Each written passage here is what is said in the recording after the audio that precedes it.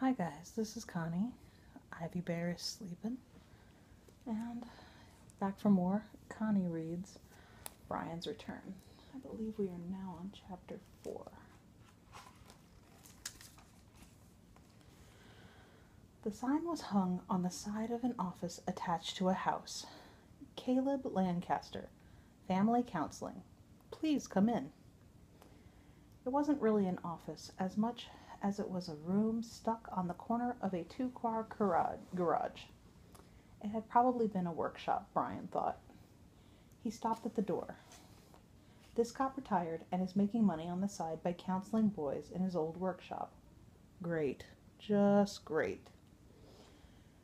He'll tell me to get good grades, don't fight, don't do drugs, obey my parents and the police, and send me on my way. After getting a check from mom, which is really a check from the money I've saved since mom doesn't have any money. Great. He had talked to a counselor briefly the first year after he'd come back, but there hadn't really been anything wrong then. He hadn't started to miss the woods as much as he would later. And football players hadn't attacked him yet either, he thought, looking at the sign. For a moment he played with the idea of turning and leaving. This was so stupid. There was nothing wrong with him. He had come back at, as he had come back at somebody who was attacking him. He had come back a little hard, maybe, but just the same. His hand turned the knob without his really meaning to, and the door opened. Hello. You must be Brian. Brian stopped just inside the door, and his eyes moved, and in two seconds he had taken in everything in the room plain white walls, some cheap pictures of woods and mountains that didn't seem to match the rest of the space, a framed document of some kind. The desk was gray green metal. There was one chair facing the front of the desk, an old iron office chair. Along one wall was a gray green metal bookcase filled with books so heavy, heavy the shelves sagged. The floor was clean gray concrete. It was maybe the ugliest room he had ever seen. Behind the desk sat what Brian could only think of as a wall of a man. He wasn't fat, just enormous and richly black, with a smile that grew wider as he stood and held out his hand. Brian almost moved back. This man had to be nearly seven feet tall. He literally almost filled the room. I'm Caleb. Brian took his hand and felt himself being moved toward the chair across from Caleb. Take a seat, any seat, he laughed. As long as it as long as it's this one. Brian sat, waited. They tell me you're the boy who lived in the woods, the one who was all over television a couple of years ago. Brian nodded. Is that right? Brian nodded again and realized with a start that Caleb was blind. Yes. Caleb laughed, deep and booming. You were nodding. Yes, I'm sorry. I didn't know. Don't be sorry. It's flattering that you took so long to see it. Did it happen when you were a cop? Another laugh. Not really. I got a headache one day, a really fierce one while I was working, and three days later I was blind. Just like that? Just like that. The doctors had some fancy names for what happened. Uh, but I like to think, I like to keep things simple. I had a headache. I went blind. That's it. But we're not supposed to talk about me. We're supposed to talk about why you beat the hell out of that football player.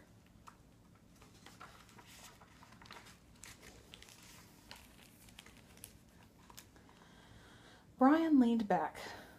If you want to. Brian took a deep breath. Or Brian took a breath. Or we could talk about something else. I didn't beat the hell out of him. They took him to the hospital. He attacked me over a girl, Caleb said. No, or maybe. I don't know. He just slammed out the door and hit me. And you hit him back. Brian nodded, then remembered. Yes. Tell me about the woods. Pardon? The woods. Tell me about them. I'm a city boy and don't know anything about woods. What are they like? I. Brian shrugged. They're all right. All right, that's all. After all you did, that's all you can say? I heard you had to eat bugs and almost died. Was it. What was it like? Really like? Brian paused, remembering. A blade of grass that moved, the way a rabbit turned its head just before an arrow hit it. A flash of color when a fish rolled in the water. I don't think you would understand. Nobody who hasn't been there can really know. Caleb nodded and was silent. Then he spoke softly. Tell me one thing, then. What do you mean? Tell me one thing one part of it that I can see in my mind and understand. You can do that, can't you? Brian shrugged. I guess so. Which part do you want to know about? You pick it. Brian thought for nearly a full minute. Moose attacks, wild wind, good kills, near misses, food. Lord, food when he was starving, and the fierce joy that came when a hunt worked all of it was there. Every little and big thing that had happened to him in a summer and a winter. And in the end, he decided to tell Caleb about a sunset. There had been many sunsets, and they were all beautiful. Everyone had had different light, different sounds, and he remembered them all the way somebody who watches a wonderful movie can remember every bit of the movie. The one he described for Caleb was in the winter. It had been a still, unbelievably cold day when trees exploded and the sky was so brilliantly clear that when he looked into the blue it didn't seem to have a limit, didn't seem to end. It was late afternoon, and he had eaten hot food inside his shelter and gone outside to get wood in for the night. The sun was below the tree line, but there was still light, and the sky was rapidly turning a deep cobalt blue and Brian could see a single bright star. Or was it a planet? Venus, perhaps? Near where the sun had disappeared. Suddenly, and it was so quick he almost missed it, a spear of golden light shot from the sun and seemed to pierce the star. Like an arrow of gold light, one brilliant shaft there and gone. And while he watched, transfixed, another shaft came, and then another. Three times Three light arrows from the sun shot through the star. It made him believe, made him know, that there was something bigger than he was, something bigger than everybody, bigger than all. He thought it must mean something, had to mean something, but he could not think what. Three arrows of light. Three arrow. Maybe a name, maybe a direction. Later, after he came back, and was trying to understand all that had happened.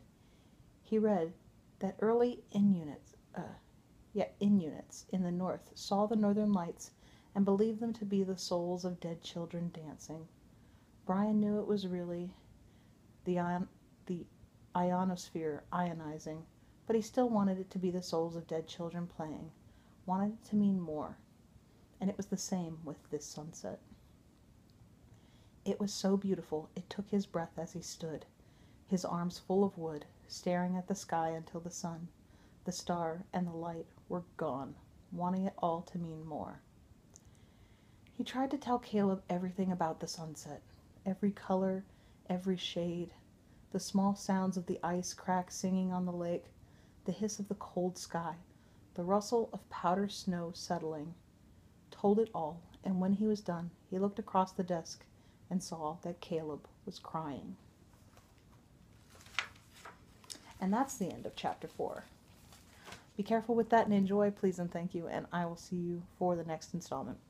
Probably recording wise in a few seconds, but see you next time.